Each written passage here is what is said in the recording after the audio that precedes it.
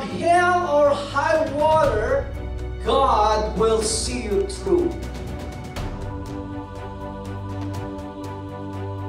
God has not given us the spirit of fear, but of power and of love and of sound mind. He who dwells in the secret place of the Most High shall abide under the shadow of the Almighty. And I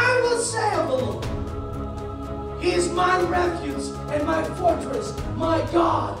In Him will I trust.